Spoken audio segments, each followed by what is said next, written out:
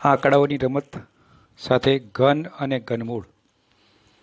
ધોરણ આઠની અંદર પ્રકરણ સાત. જેમ વર્ગ અને વર્ગમૂળ એના વિશે ભણી ગયા, તેમ ઘન અને ઘનમૂળ. અહીંયા એક સરસ પ્રસંગ આપેલો છે કે ભારતના મહાન અને મેધાવી મેધાવી એટલે બુદ્ધિમાન, ગણેશશાસ્ત્રી એસ. રામાનુજનની એક પ્રચલિત આવો પ્રસંગ છે કે જે જ્યારે ગણિતશાસ્ત્રી એચ જી હાર્ડીને મળેલા તે વખતે એમની ટેક્સીનો જે નંબર હતો એ વન સેવન ટુ નાઇન અંક લખેલો હતો. એટલે હાર્ડી સાહેબે કીધું કે આ આંકડા છે ને એ ડલ છે. મતલબ બહુ નંબર સારો નથી. ત્યારે રામાનું જે પ્રત્યુત્તર આવ્યો કે આ ખૂબ રસપ્રદ છે. આની પાછળ કંઈક છુપાયેલું છે. તો કે શું છે? તો જુઓ. તો વન સેવન ટુ નાઇન એટલે કે એક હજાર સાતસો અઠ્યાવીસ પ્લસ વન કરો તો એક હજાર સાતસો અઠ્યાવીસ એ બારનો ઘન છે. પ્લસ વન એ વનનો ઘન. ફરીથી, એક હજાર સાતસો ઓગણત્રીસમાં હજાર વત્તા સાતસો ને ઓગણત્રીસ થાય. હજાર એ દસનો ઘન છે, જ્યારે સાતસો ઓગણત્રીસ એ નવનો ઘન છે. આમ હાર્ડી અને ખુશ થઈ ગયા. પ્રોફેસર હાર્ડી ખુશ થઈ ગયા અને આ જે અંક છે એને પછીથી હાર્ડી રામાનુજન સંખ્યા તરીકે ઓળખવામાં આવે છે. જો કે આ ત્રણસો વર્ષ પહેલાં આ સંખ્યા જાણીતી જ હતી. પણ રામાનુજનને ઘણા બધા અંકોની માહિતી આપેલી છે. ઘન સંખ્યાનો ઘન અને ઘનમૂળ અને એની રસપ્રદ આવી પેટર્ન એના વિશે આપણે આજે અહીંયા જોવાના છીએ. તો વાસ્તવમાં ઘન શબ્દ જો તમે વિચારો વિજ્ઞાનની દ્રષ્ટિએ, તો તમે આવો ઘન વિચારશો. આવો ઘન, કે જેની લંબાઈ, પહોળાઈ અને ઊંચાઈ સમાન છે. અને જ્યારે તમે ઘાત અને ઘાતાંકનો જ્યારે દાખલાનો વિચાર કરશો, તો ઘન વિચારશો, તો એવું લખશો કે બેનો ઘન આ રીતે. અહીંયા આગળ આ જે ઘન દર્શાવે છે, તેની સમજણ અહીંયા આકૃતિમાં તમે જોઈ શકો કે લંબાઈ, પહોળાઈ અને ઊંચાઈ એની સાથે સંબંધિત છે. એટલે કોઈપણ સંખ્યાનો ઘન કરવો, એનો મતલબ કોઈપણ આકાર છે, એને ઘન સ્વરૂપે જુઓ, એનો મતલબ આ બંને સાથે વિચારો. તો તમે જોઈ શકો કે ઘન પદાર્થની વાત કરશો ત્યારે એની લંબાઈ પહોળાઈ અને ઊંચાઈ સમાન છે. અને જ્યારે ઘાત અને ઘાતાંકમાં ઘન વિચારશો ત્યારે તેની અંદર આપેલી સંખ્યાને ત્રણ વખત ગુણાયેલી જોશો. તો બંને સ્વરૂપે તમારે જોવાનું છે, આ જે છે ભૌમિતિક આકાર તરીકે જુઓ, દાખલા તરીકે આ છે એને તમે ઘાત અને ઘાતાંકના અંકોના સ્વરૂપે જુઓ. એકનો ઘન. શું કે આની લંબાઈ મેં એક સેમી, એક સેમીને લંબાઈ પહોળાઈ અને ઊંચાઈ બધી સમાન હોય એટલે એક સેમી લીધી. તો આનો મિનિંગ ભૌમિતિક આકાર તરીકે ઘન પદાર્થમાં અને આનો ઘાત અને ઘાતાંકના અંકોની દ્રષ્ટિએ તમે સમાન રીતે જોઈ શકો છો. તો આવા અલગ અલગ ઘન તમે ભેગા કરતા જાઓ કે જેની લંબાઈ, પહોળાઈ અને ઊંચાઈ સમાન થાય. દાખલા તરીકે અહીંયા આગળ બે ઘન મૂકેલા છે, એ તે અહીંયા મૂકેલા છે બે ઘન, એ તે ઊંચાઈમાં પણ બે ઘન મૂકેલા છે. તો આનાથી બનતો જે મોટો ઘન છે, એની અંદર કુલ કેટલા એકમ ઘનો સમાયેલા હોય? આ, આવો એક એક છે, એવા કેટલા સમાયેલા છે? તો તમે સહેલાઈથી કહી શકશો, એમાં આઠ સમાયેલા છે. તો બે ગુણાકારમાં બે ગુણાકારમાં બે. તો બે બે કેટલી વાર થયા? ત્રણ વખત થયા. સેમ તમે જો આ રીતે આવા નાના નાના ઘન જે છે, એ તમે ત્રણ ત્રણની ગોઠવણી કરશો.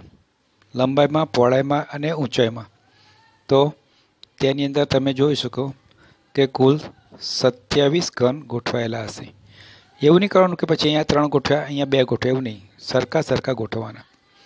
એટલે તમને એટલું ખ્યાલ આવી ગઈ કે ઘન સંખ્યા જે, એટલે એ સંખ્યા કે જેનું ત્રણ વખત ગુણાથી મળતી સંખ્યા હોય, તેને આપેલી સંખ્યાનો ઘન કહેવામાં આવે છે. એક જ પ્રકારની સંખ્યા દાખલા તરીકે બે છે એને ત્રણ વખત ગુણાકાર કરો, તો બે અને ત્રણ વખત ગુણાકાર કરશો, તો બેનો તમને ઘન મળશે. આવી જે બેનો ઘન મળ્યો, એને જવાબ મળ્યો આઠ. તો આઠને શું કહેવાય? પૂર્ણ ઘન સંખ્યા અથવા ઘન સંખ્યા. તો તમે જુઓ, એકને ત્રણ વખત ગુણશો તો એક મળશે, બેને ત્રણ વખત ગુણશો તો આઠ મળશે. ત્રણને ત્રણ વખત ગુણશો તો સત્યાવીસ મળશે. તો એ રીતે અલગ અલગ સંખ્યાઓ તમે ત્રણ વખત ગુણાકાર કરો સેમ સંખ્યાને ત્રણ વખત ગુણાકાર કરો, ત્રણ વડે નહીં, ત્રણ વખત ગુણાકાર કરો, તો તેમાંથી ગુણાકારમાં જે ગુણનફળ મળે છે તે તમારું પૂર્ણ ઘન સંખ્યા બને છે.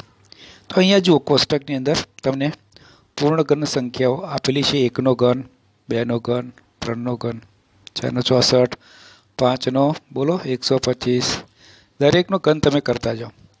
અને એ ઘન કરીને તમારે આ કોષ્ટક પૂરું કરી દેવાનું છે. એ જ વસ્તુને આપણે જરા નીચે સમજીએ જે આપણે અગિયારથી વીસનો ઘન આપેલો છે તે. આની ખાસિયત ખાસ જોજો કે જ્યારે જ્યારે પણ આપણે ઘન કરીએ છીએ ત્યારે કોષ્ટક એક અને કોષ્ટક બેને તમે બરાબર સરખાવો. અને આપણે તેમાંથી એક ખાસ પ્રકારની સંખ્યાના એકમના અંકમાં પૂર્ણઘન સંખ્યાના એકમનો અંક કયો છે તેની રસપ્રદ વાત મેળવીએ. ફરીથી જોઈ લો. એકનો ઘન એક, બેનો ઘન, ત્રણનો ઘન, બોલો, ચારનો ઘન, પાંચનો ઘન બોલો, પાંચનો ઘન, એકસો પચીસ, પાંચનો ઘન બોલો, એકસો પચીસ, ચલો છનો બોલો, બસો સોળ, સાતનો બોલો, ત્રણસો તેતાળીસ, આઠનો બોલો પાંચસો બાર, નવનો બોલો, સાતસો ઓગણત્રીસ અને દસનો એક હજાર. તો આ રીતે તમે અંક જુઓ પાછળનો. ખાસ આપ દાખલા તરીકે પાંચ છે તો અહીંયા પાંચ છે. છ છે તો છ છે. નવ છે તો નવ છે. જીરો છે એકમનો અંક તો જીરો છે. ક્યાં પેટર્ન બદલી છે? તો અહીં સાત હોય તો ત્રણ છે અને આઠ હોય તો બે છે. બરાબર જોઈ લીધું ધ્યાનથી? સાત તો ત્રણ, આઠ તો બે. અને બે હોય તો શું થાય? જો, બે હોય તો શું થાય? બે હોય તો આઠ અને ત્રણ હોય તો સાત. તો તમે બરાબર ત્યાં આપો, બે હોય તો આઠ એકમનો અંક બેનો ઘન કરો તો એકમનો અંક આઠ આવે બારનો ઘન કરો તો એકમનો અંક આઠ આવે, એકમનો અંક એકસો બારનો ઘન કરો તો પણ એકમનો અંક આઠ આવે બાવનનો ઘન કરો તો પણ એકમનો અંક આઠ આવે, ઓકે? એ વિચાર લો. એ જ પ્રમાણે તમે જુઓ કે ત્રણ છે, તો ત્રણનો ઘન કરો તો એકમનો અંક કયો આવશે? તો કે સાત આવશે.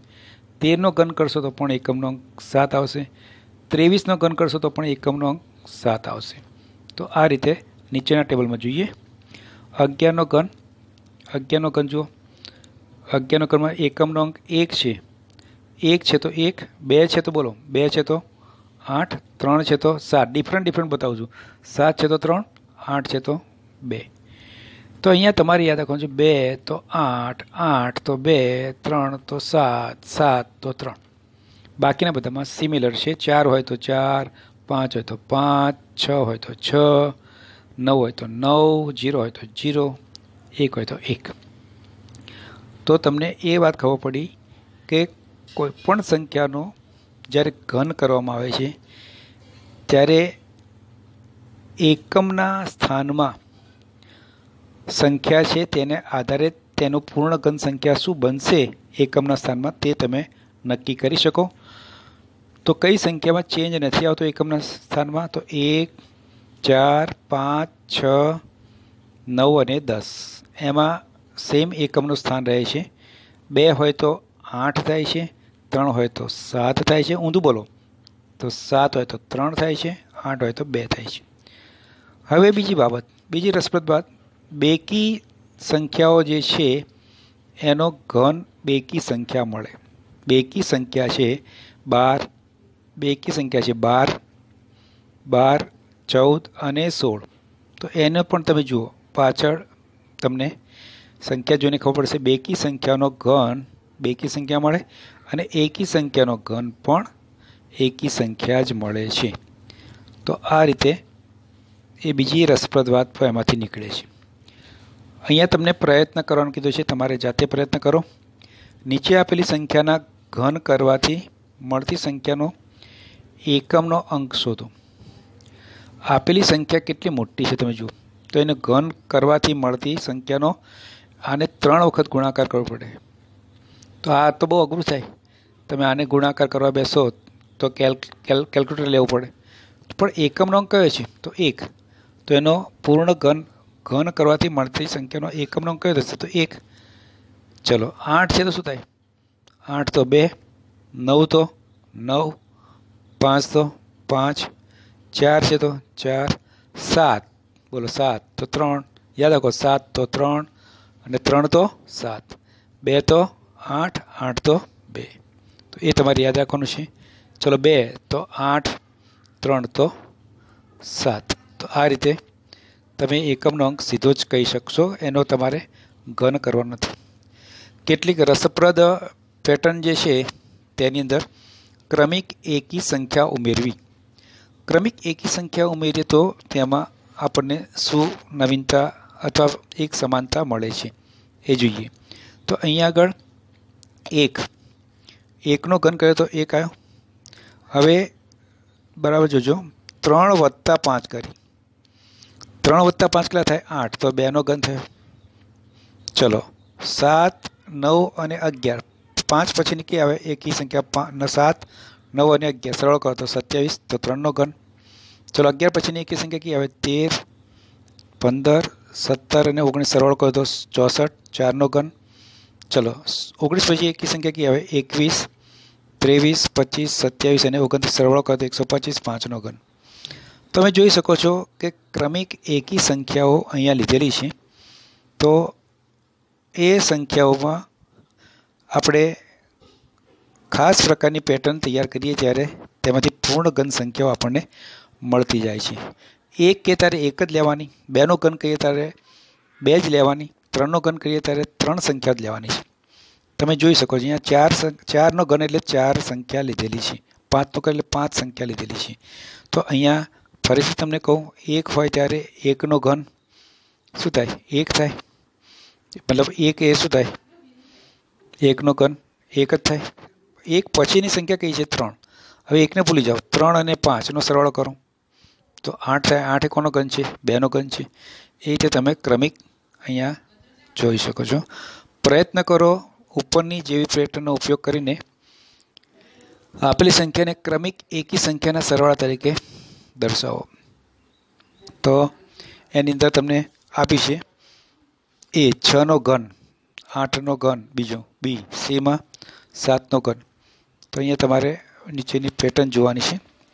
આ પેટર્ન તમે જોઈને તમે કહી શકો કે ઉપર જે પેટર્નનો ઉપયોગ કરીને સમજો કે આ જે છે, છ છ એટલે શું? છ શું? જુઓ આ છેલ્લી પેટર્ન જુઓ. આ પેટર્નમાં આ જે છે તેની અંદર તકે પાંચનો ઘન. તો આપણે વિચારો કે પાંચનો ઘનમાં પહેલાં પાંચ લઈએ. એના પછીની સંખ્યા જે ઓછી છે તે આગળની સંખ્યા ચાર. એનાથી આગળની સંખ્યા જે છે તે ચાર થાય. એમાં એક ઉમેરો. તો પાંચ ચોક વીસ અને એક એકવીસ. તો આપણી શરૂઆત એકી સંખ્યા એકવીસથી કરવાની. તમે સમજી ગયા છો છતાં પણ ફરીથી રિપીટ કરો, ચલો ચાર માટે બોલો. ચાર છે, આ આ જે છે પેટર્ન માટે, ચલો ચાર જે છે, એ પહેલાં લો. ચાર કરતાં એક ઓછી સંખ્યા લો. કઈ થશે? ત્રણ. ચારને, ત્રણનો ગુણાકાર કરો. ત્રણ ચોક બાર. એમાં એક ઉમેરો. તો શું થાય? તેર. તો આપણી સ્ટાર્ટિંગ એકી સંખ્યા કઈ છે તેર, પછી પંદર, પછી સત્તર. તો અહીંયા જુઓ સેમ અહીંયા આગળ પણ છનો ઘન. જ્યારે છનો ઘન વિચારીએ ત્યારે તમારે સ્ટાર્ટિંગ શું કરવાનું છે? છ. એનાથી ઉતરતી એક સંખ્યા બોલો, પાંચ. એમાં એક ઉમેરો. તો છ, પંચાત્રીસ અને એક, એકત્રીસ. એકત્રીસથી આપણે સ્ટાર્ટ કરવાનું. એકત્રીસ, બત્રીસ, અરે, એકત્રીસ, તેત્રીસ, પાંત્રીસ, સાડત્રીસ, આડત્રીસ, ના, ઓગણચાળીસ અને એકતાળીસ. કેટલી સંખ્યા લેવાની? કેટલી સંખ્યા લેવાની? તો આપણે છ સંખ્યા લેવાની. છ કીધું છ. એક, બે, ત્રણ, ચાર, પાંચ અને છ. આ બધાનો શું કરવાનો? તો કે સરવાળો કરવાનો. તો આ બધાનો તમે સરવાળો કરો, તો તમને કેટલો મળશે? તો કે બસો ને સોળ મળશે. બસો ને સોળ મળશે. સમજી ગયા? ફરીથી. ચલો, આઠ માટે જુઓ. આઠ માટે જુઓ.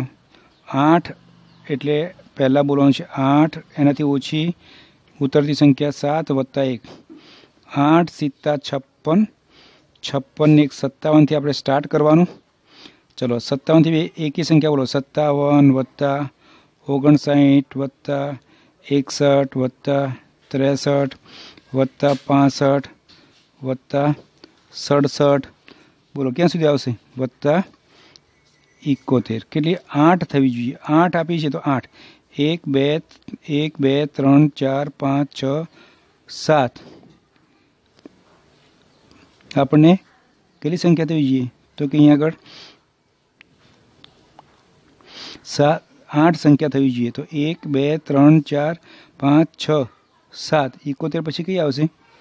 એકોતેર પછી ત્રોતેર તો આ રીતે તમારે આ બધી સંખ્યાનો શું કરવાનું છે? સરવાળો કરવાનો છે. અને એ પ્રકારે તમારે એનો જવાબ મેળવી લેવાનો છે. જેટલી તમને કીધી હોય તે પ્રમાણે તમારે સંખ્યા દેવાની તો એ પ્રમાણે તમે સરવાળો કરશો તો પાંચસો ને બાર મળશે. અને એ પ્રમાણે તમે પેટર્નને આગળ વધારો. ફરીથી બરાબર જોઈ લો. અહીંયા આગળ ચાર છે તો અહીંયા ચાર આવી જોઈએ એકી સંખ્યાઓ. પાંચ છે તો પાંચ એકી સંખ્યા આવી જોઈએ. પણ પહેલી કઈ આવી જોઈએ? તો અહીં તો આપણે ક્રમિક ચાલે એટલે ખબર પડી. પણ પહેલી કઈ આવી જોઈએ? તો તમે પહેલી લાવવા માટે ફરીથી શું કરવાનું છે? જોઈ લેજો ધ્યાનથી. સાત માટે શું કરવાનું? સાત. એમાંથી એક ઓછી સંખ્યા બોલો. છ. ગુણાકાર કરીને એક ઉમેરી દો. સાત છંગ બેતાળીસ અને એક. તેતાળીસ. તેતાળીસથી તમારે શરૂઆત કરવાની. તેતાળીસ, પિસ્તાળીસ સુડતાલીસ ઓગણપચાસ, એકાવન, ત્રેપન અને પંચાવન. એનો સરવાળો કરવાનો. તો ત્રણસો ને તેતાળીસ થશે. તો એ રીતે હવે બીજી પેટર્ન જે છે તે પ્રમાણે જુઓ. બેનો ઘન અને એકનો ઘન. બેનો ઘન અને એકનો ઘન એવું આપ્યું છે. વચ્ચે બાદ બાકી આપી છે. તો એનો જવાબ તમારે શોધવાનો છે કેટલો થાય. એમ જુદી જુદી પેટર્ન માટે તમે કહી શકો. અહીંયા એવી એને પેટર્ન બનાવી છે કે વન પહેલું આપ્યું છે વન પ્લસ આ જે છે એ બે સંખ્યાઓનો ગુણાકાર આપ્યો છે. બરાબર છે? એની અંદર એના સાથે ઓલવેઝ ત્રણ વડે ગુણાકાર. તો અહીંયા ગુણાકાર પહેલાં કરી દો બધો. બે એકા બે ને બે એકા બે અને ત્રણ, છ ને એક. શું થશે? સાત. તો બેનો ઘન કરો તો આઠ થાય. આઠનોમાંથી એકનો ઘન બાદ કરો તો જવાબ સાત આવે. ચલો, બીજી બાબત જોઈ લો ધ્યાનથી. સેમ પેટર્નથી આપણે કરી રહ્યા છીએ. ત્રણનો ઘન. બેનો ઘન. તો પહેલાં વન લખવાનું ફિક્સ છે. ત્રણ લખવાનું પણ ફિક્સ છે. વચ્ચેનું જુઓ, તો ત્રણ અને બે છે, તો ત્રણ ગુણાકારમાં બે લખવાનું. ત્રણ ગુણાકારમાં બે. તો એને તમે લખી શકો છો. એ તે અહીંયા જુઓ, ચારનો ઘન માઇનસ ત્રણનો ઘન. તો એક અને ત્રણ તો ફિક્સ છે. એક ઉમેરવાના. શેના? તો ગુણાકાર જે છે એની અંદર એક ઉમેરવાના છે. તો એકમની સાથે, એકની સાથે કોનો કોનો ગુણાકાર? તો ચાર ગુણાકારમાં ત્રણ અને ત્રણ આપણો ફિક્સ છે. તો આપણે તમે સમજી ગયા કે કોઈપણ સંખ્યા જ્યારે આપણે લખી રહ્યા છીએ ત્યારે ક્રમિક બે સંખ્યાના ઘનની બાદબાકી કેટલી થાય? જો તમારે એક્સની ભાષામાં અથવા એનની ભાષામાં લખવાનું, નંબરની ભાષામાં, તો તમને ખબર છે કે પહેલી સંખ્યા તમારી કઈ છે? તો મોટી સંખ્યાને સમજો કે હું એમ કહું અને નાની સંખ્યાને સમજો કે હું એન કહું, તો આ બે ક્રમિક સંખ્યાઓ છે એમ અને એન બે ક્રમિક સંખ્યાઓ છે.